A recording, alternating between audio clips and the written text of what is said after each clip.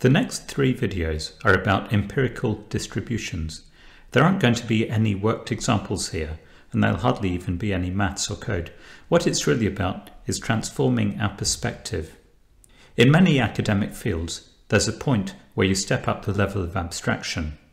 In maths, for example, there's a step from doing algebra with numbers to doing algebra with functions, Fourier analysis and all that stuff.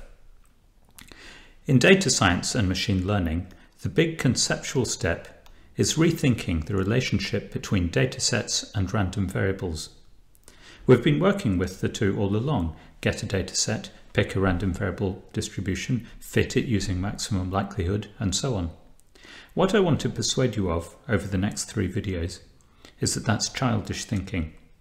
I want to persuade you that a dataset is a probability distribution.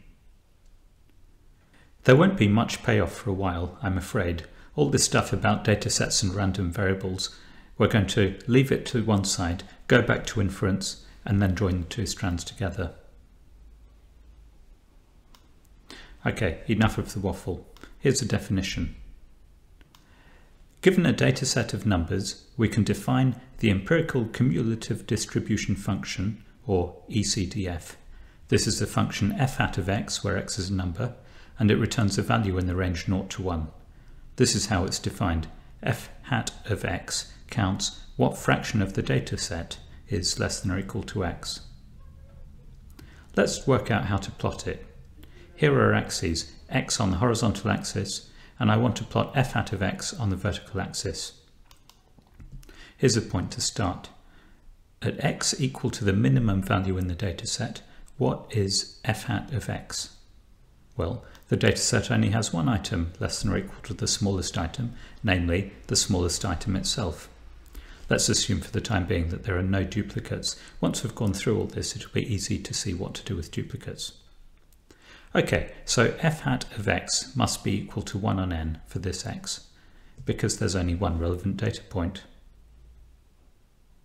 How about when x equals the second smallest value in the dataset? Same as before, now there are two points that are less than or equal to x, and so on, and so on, for the third smallest. Next, let's think about the value of f hat of x in between these points. For any x smaller than the minimum value, f hat of x is equal to 0 because there are no points. For any x in between the smallest and the second smallest, the number of data points that this definition scoops up doesn't change. It's still just one data point. So f hat of x is flat between these two values. And we can fill in the rest of the f hat function like this. It's a step function. It's almost embarrassingly simple to plot. Just sort the x values, pick evenly spaced values on the y-axis going from 1 on n up, and plot it. MATLAB has an option saying plot it as steps. Now, back to the problem of duplicates. Let's look at an example. Here's a data set with duplicates. Let's go through the same process and plot f hat at interesting points. The nifty thing here though is it doesn't matter if I choose to follow the recipe from the last slide and just plot an extra point at 0.8 comma 1 on 3. When I draw the step function it all comes out the same. So this code snippet is all you'll ever need for plotting an ECDF, whether or not your dataset has duplicates. So why the interest in the ECDF and why is it even called that? It's because it's a mirror of the cumulative distribution function for a random variable. Let me explain with an illustration. Here's a histogram showing galaxy speeds from an astronomy paper. This dataset became one of the canonical go-to datasets in statistics for showcasing ideas about clustering, and that's why it's here, not because we're going to do, say anything useful about astronomy. The idea is, if you imagine the universe is uniform and expanding, then when you look at the sky, you should see a continuum of how fast galaxies are moving away from us, the nearer ones moving slower, the further ones moving faster. But what matters is that the spread should be smooth, as this black line indicates.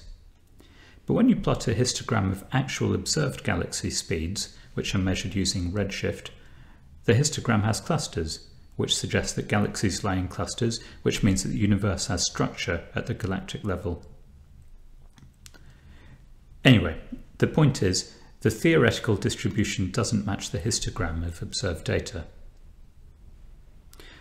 Now let's look at this again, but with the empirical CDF. First, what does the empirical CDF look like? It's an increasing function, going from 0 to 1 of course. It has steep bits where there are many data points, and flat bits where there are few data points.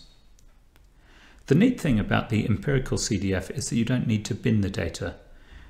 The, the bottom plot shows every single data point, whereas the top plot, the histogram, only shows an aggregate, and you always need to worry about whether you are distorting it by the way you've chosen your bin sizes. Anyway, here's the PDF of the, th the theoretical distribution we'd expect in the top plot. And here's its CDF in the bottom plot. Both of them show us that it's a bad fit. Now, here's another fitted distribution. This is a Gaussian mixture random variable. The random variable's PDF looks like it fits much better, and its CDF tracks the empirical CDF of the dataset very closely. This is what a good fit looks like. The natural question to us now is, whether this is the best fit we can achieve. If we really wanted to get a perfect fit for the dataset, what distribution should we choose? That's what we'll look at in the next video.